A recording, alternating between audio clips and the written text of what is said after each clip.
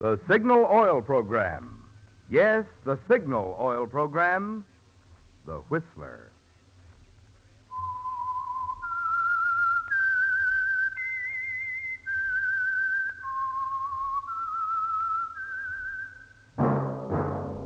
That whistle is your signal for the Signal Oil Program, The Whistler.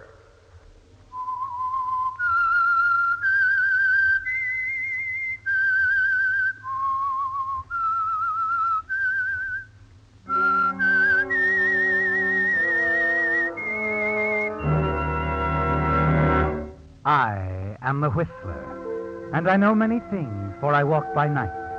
I know many strange tales hidden in the hearts of men and women who have stepped into the shadows. Yes, I know the nameless terrors of which they dare not speak.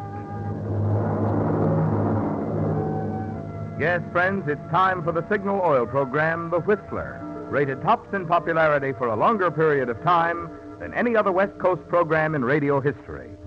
And Signal gasoline is tops, too, tops in quality. It takes extra quality, you know, to give you extra mileage. And Signal is the famous Go Farther gasoline. So look for the Signal Circle sign in yellow and black that identifies independently operated signal stations from Canada to Mexico. And now the Whistler's strange story. Deal with death.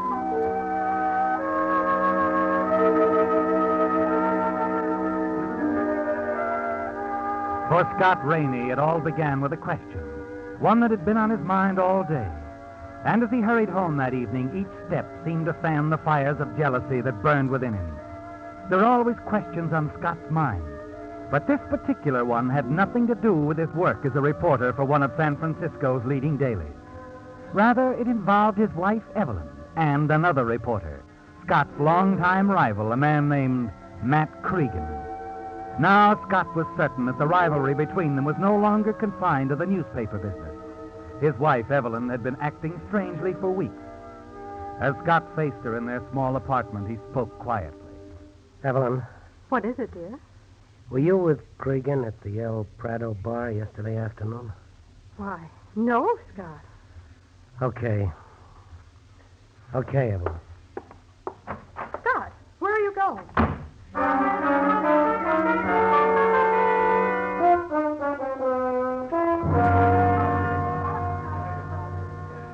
I guess it's all pretty boring. I guess. What is? Oh, listening to guys crying out their domestic troubles to you over the bar? Eh, all goes with bartendering. Maybe he ain't got the trouble you think. She lied, didn't she? I saw her here with Cregan. Sure, but maybe she had a good reason. They've been friends for a long time, ain't they? Yeah, but He did a lot for her when she was singing in clubs around town. Looked after her pretty well. Some of the spots she worked in was operated by guys that was plenty tough. She's uh, pretty attractive, your wife. yeah, yeah. Well, I wouldn't know about Evelyn's past. She didn't ask me about mine. That's how we got married, Gus. No questions asked. Fix me another drink, will you? Yeah, sure. Oh, I uh, almost forgot. Uh, about an hour ago, there was a call for you. Any message? Hmm, fella didn't leave one. Said he'd call back later. Well, I'm not sticking around much longer. Hiya, Gus. Oh, ow. It's about time. My dogs are killing me. Look, you're supposed to relieve me at 8 Hello, o'clock. Scott. Hi. Sure, sure, Gus. Only there was a roadblock. A little excitement down on the waterfront. What kind of excitement? Fire in one of them cheap hotels. You didn't stop, find out how it happened? Nah, I didn't want old Gus here to overwork. Yeah, it's the first time I ever bothered you. I think I'll go down and have a look. What do I owe you, Gus? Uh, oh, you already caught the last one. Eh, always on the beat, huh? A reporter is only as good as his last hot story. This one ought to be hot enough anyway. A fire. Ha! I'm sorry you came.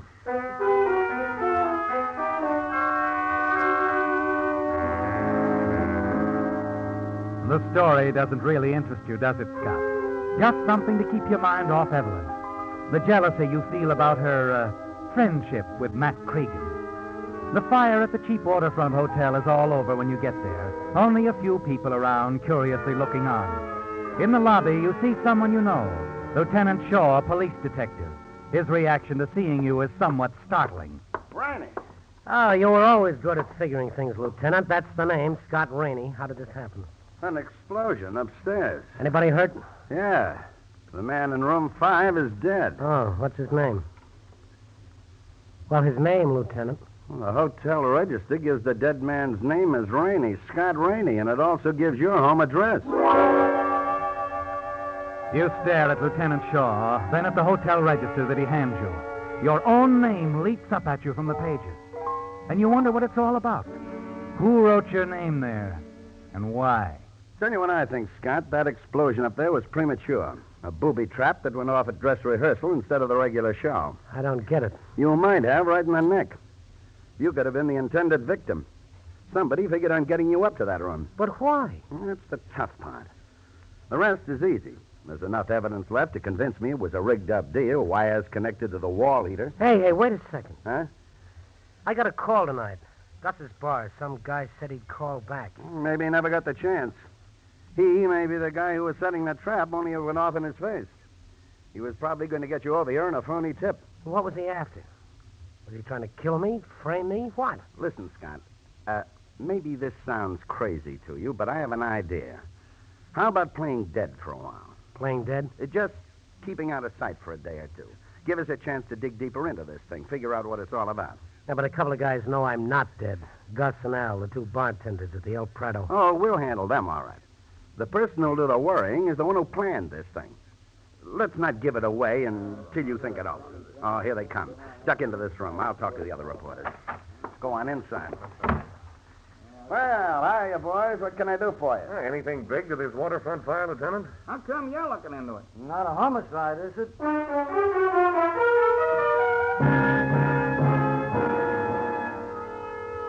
The voices of the lieutenant's questioners drift over the transom to you. You recognize them all reporters Carter, Benson, LeGrand. And then one voice cuts through, the most familiar one of all. What leads It's the voice of Matt Cregan, isn't it, Scott? Your old rival. Have you made any identification yet, Lieutenant? Uh, maybe we have, Cregan, but whether we have or not, we aren't ready to release anything. Well, what name was the guy registered under? We're not revealing that either. Oh, you know, huh? Okay, have it your way, Lieutenant. I can wait. Not worried about being scooped by your old pal, What do you mean? Scott Rainey? Oh. Oh, no, I'm not worried. Or isn't he a pal? Funny he isn't around. Yeah. Yeah, it is. Nah, he probably will be. Sure. Maybe so, Lieutenant. Maybe so.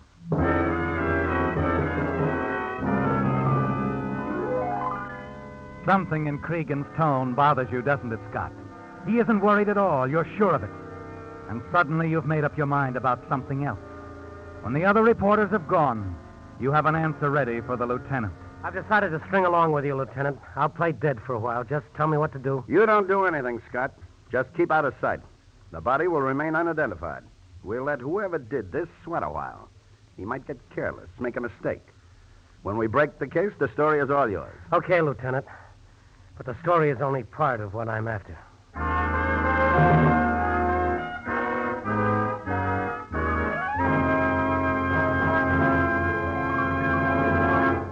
With the prologue of Deal with Death, the Signal Oil Company brings you another strange story by The Whistler. If, like most car owners, you'll be using tomorrow's holiday for a drive somewhere, you'll also be seeing a lot of Signal service stations. So it occurred to me that you might like to know a little more about this friendly organization which brings you The Whistler. Well, first of all, Signal products have always been sold only through independently operated stations. The reason? Signal Oil Company believes that a man who has his own business naturally has more incentive to serve you better. And secondly, because you want top quality products for your car, each individual Signal station is backed by an organization which serves the many hundreds of Signal dealers throughout six western states, with facilities to bring you every latest advance in petroleum science. Obviously, drivers must like this combination of Signal's personalized service plus fine quality Signal products. When you consider how fast Signal has grown into an organization serving the entire West Coast from border to border. To see for yourself one of the good reasons for this increasing popularity, drop into a Signal station tomorrow. Fill up your tank and discover how you go farther with Signal.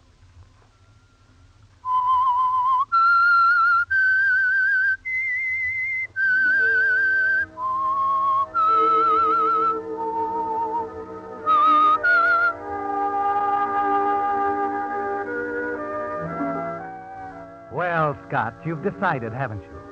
Agreed to play dead for Lieutenant Shaw to give him an opportunity to investigate the strange motive behind the explosion in the waterfront hotel in an attempt to kill you. There's something intriguing about the whole idea, isn't there? Keeping out of sight, sitting back, watching, waiting for developments.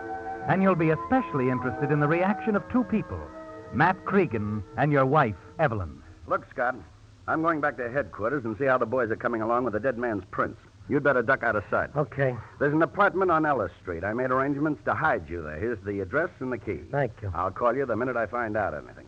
If we're lucky, we'll have the dead man's prints on file. All right, Lieutenant. I'm sort of anxious to know who he is.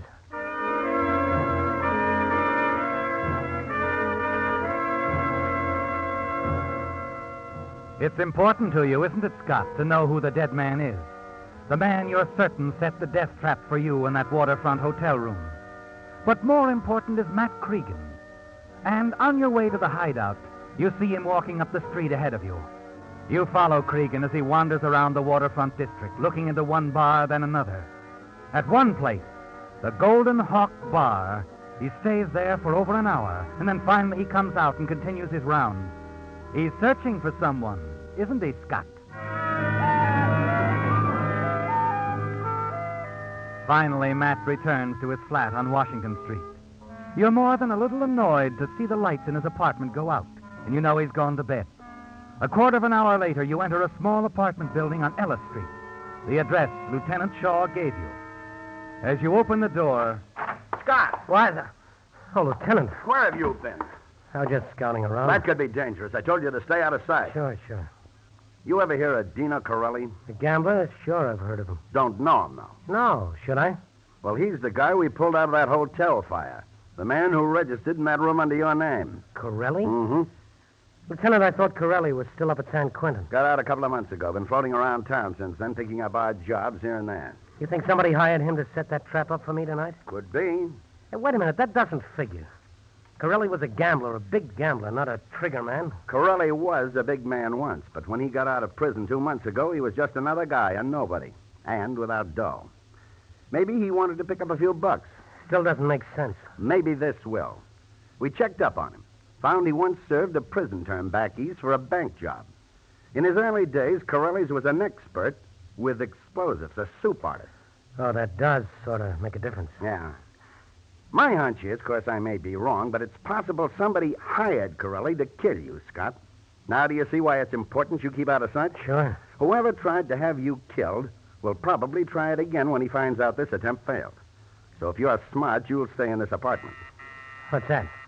Oh, never mind, Scott. It's one of my boys out front. I told him to pick me up. Okay, Lieutenant. I'll let you know how we make out. We're going to start hitting a few of Corelli's hangouts, starting with the Golden Hawk. The Golden Hawk. Yeah, you know where it is? Yeah, I know.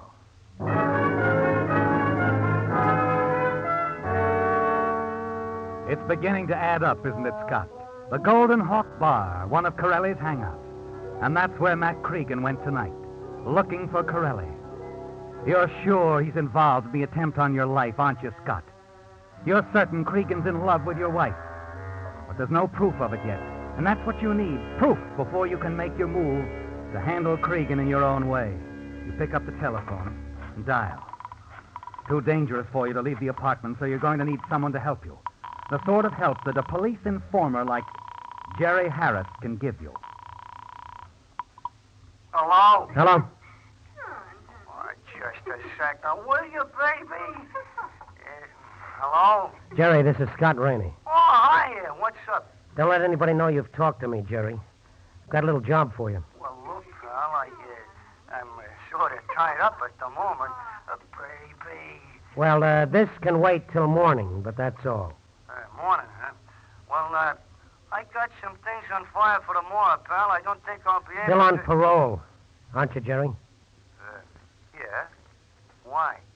There are certain things guys on parole are not supposed to do, Jerry. You get what I mean? Uh, I think so. what do you want me to do? Nothing that could hurt you. Just tail a guy, Matt Cregan. Cregan, the reporter? Yeah. Let me know what he does, where he goes, who he sees, that's all. And keep your mouth shut. Okay. Keep in touch with me at this number Lafayette, 8971. Have you got it? Yeah, I got it.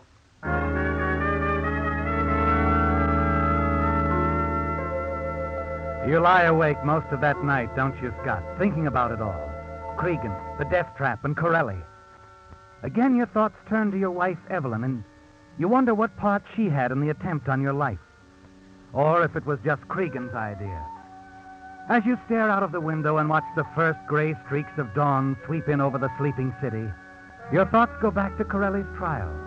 Ten years ago, wasn't it? You lean back in the heavy chair, close your eyes. You remember the trial well. Matt Cregan, covering the case, was the only reporter who believed Corelli's story, and he played it up big. Perhaps that's the reason why Corelli was willing to return Cregan's favor and set up your death trap. Yes, that's what you're thinking about when somehow you doze off. It's almost noon when the phone wakens you. It's Jerry with a report on Cregan. At first, Cregan dropped around to your newspaper. Then he hit a half a dozen restaurants. Spent a couple hours at the Hall of Justice. Then back to his paper. Then out to your house. My house. Well, yeah.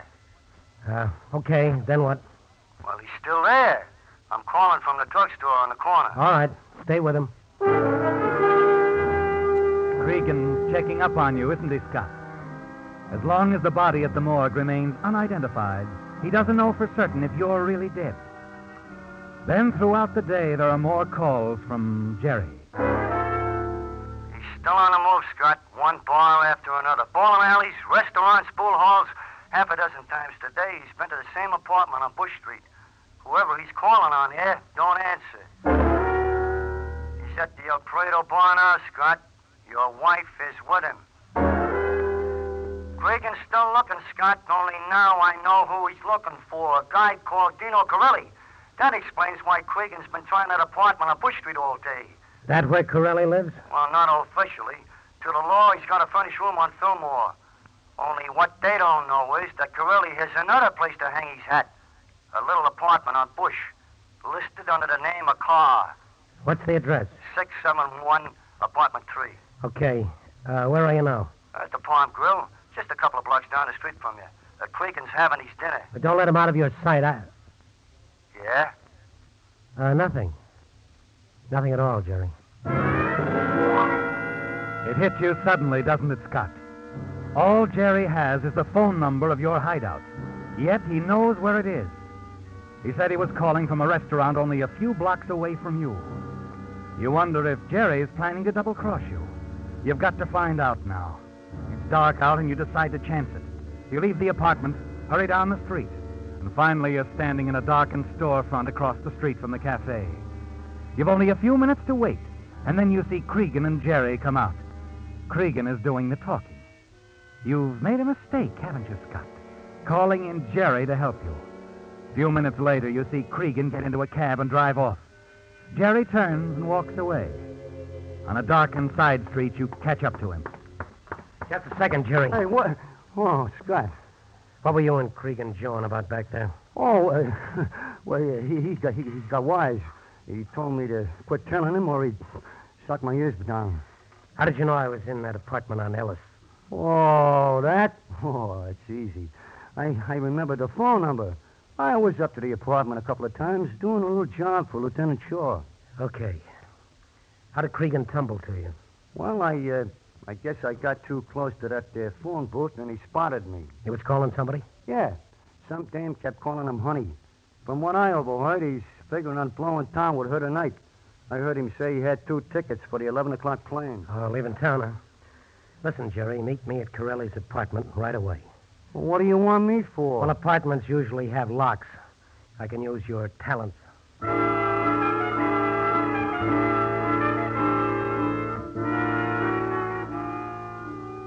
Jerry opens Corelli's apartment easily.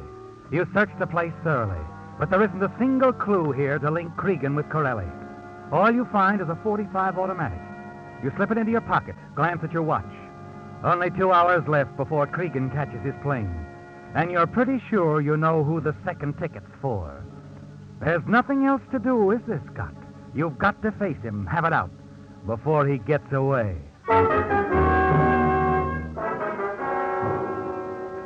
Shortly before 9.30, you enter the apartment house where Cregan lives. The hand in your pocket tightens around the gun as you hurry up the stairs. And you wonder what he'll say when he sees you. He's in for a shock, isn't he, Scott, when he discovers you're still alive. And then as you reach for the doorbell at his apartment, something you hear stops your hand in midair. A laugh. A woman's laugh coming from the inside.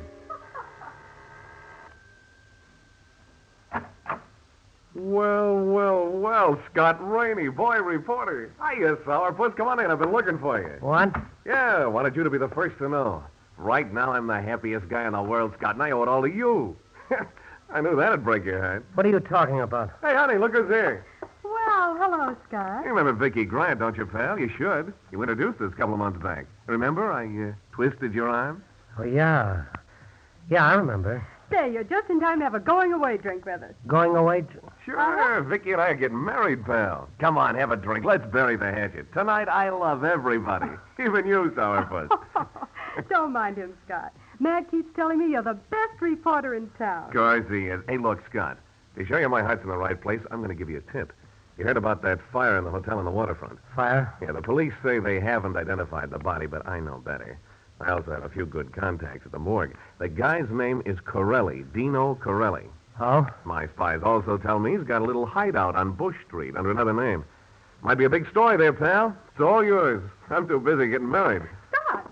Scott, where are you going? Hey, hey, wait a minute. How about that drink? As you half run down the stairs, you realize you've been all wrong, haven't you, Scott? You were quick, eager to jump to the conclusion that Matt Cregan had hired Corelli to kill you. Certain Matt wanted you out of the way so he could marry your wife, Evelyn. But it hasn't turned out that way, has it? You had it all figured out, and you were completely wrong. As you reach the street, you realize, too, that now you'll have to start all over, that you're no nearer to the answer than you were last night. Back at the apartment on Ellis Street, the hideout furnished you by Lieutenant Shaw, you paced the floor for hours trying to think it out, struggling to find the motive behind the attempt on your life. And then, Yeah. Jerry again. After I let you in Corelli's apartment, I played a hunch and went over to the Golden Hawk to see if Corelli and Cregan never got together there. Well, it seems not. But Corelli spent most of his time talking to some dame. Oh? Know who she is? Well, the bartender ain't sure. But he heard Corelli call the dame by her first name several times. What, uh, what is it? The dame's name is Evelyn. Uh, you still there, pal? Uh, yeah, I'm still here. Well, what now, Scott? Scott. Now, one more thing, then I won't need you anymore, Jerry. Call up my home and tell my wife that Corelli wants to see her at his place right away. Uh, don't give her the address. Yeah? Don't tell her who you are. Just give her the message and hang up. Okay, but well, I don't get it. No, I guess you don't. But I think Evelyn will.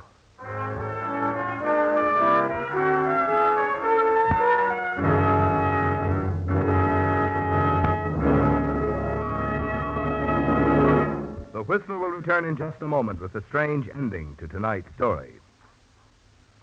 Cars are a convenience any time, But just as it takes a long holiday weekend like this to make you fully appreciate how much fun a car can be, it also takes a top quality gasoline to make you fully aware of how much performance your car has in it. That's why I'd like to suggest that before you get out on the highway tomorrow, you fill up with Signal gasoline. You'll have some pleasant surprises in store for you. Naturally, you'll enjoy excellent mileage. Mileage that has made Signal famous from Canada to Mexico as the Go Farther gasoline. But in addition, you'll discover other benefits from the extra efficiency today's Signal gasoline coaxes from your motor. Benefits such as smarter pickup and smoother power. Yes, mileage and performance do go hand in hand. So for the tops in driving pleasure, fill up with Signal and go farther.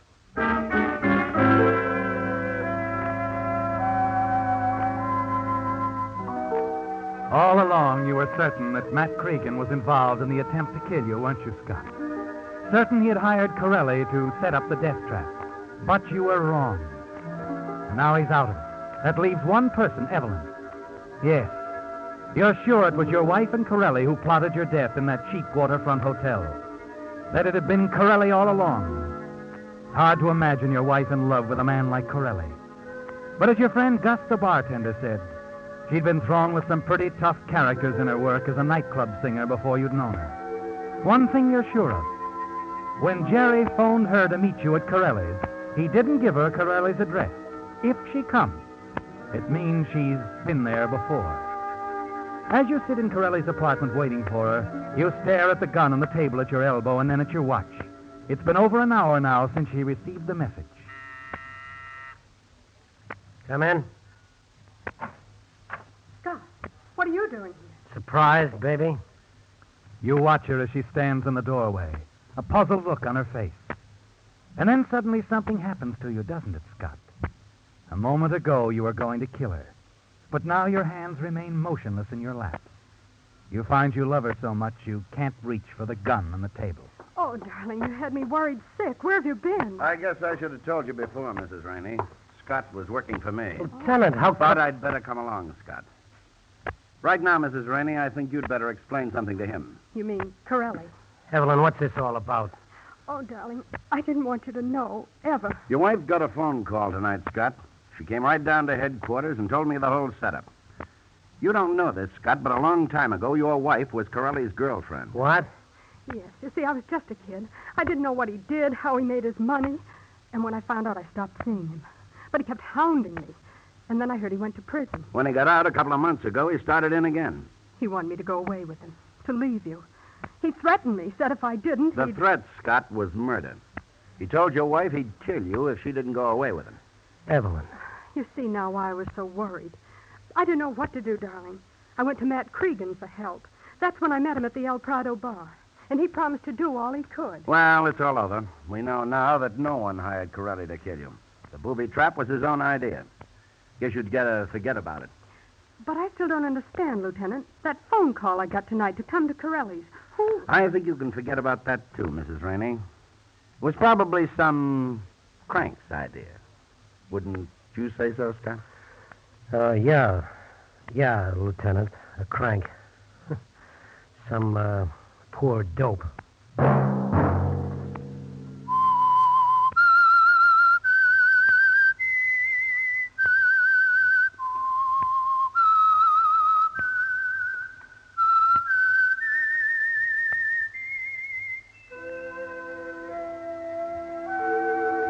Let that whistle be your signal for the Signal Oil program, The Whistler, each Sunday night at this same time.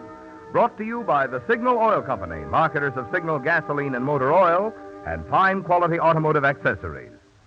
Signal has asked me to remind you to get the most driving pleasure, drive at sensible speeds, be courteous, and obey traffic regulations.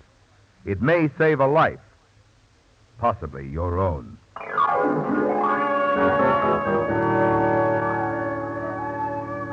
Featured in tonight's story were Frank Lovejoy and Ted DeCorsia. The Whistler was produced and directed by George W. Allen, with story by Steve Hampton, music by Wilbur Hatch, and was transmitted to our troops overseas by the Armed Forces Radio Service. The Whistler is entirely fictional, and all characters portrayed on The Whistler are also fictional. Any similarity of names or resemblance to persons, living or dead, is purely coincidental. Remember, at the same time next Sunday, another strange tale by The Whistler. Marvin Miller speaking. This is CBS, the Columbia Broadcasting System.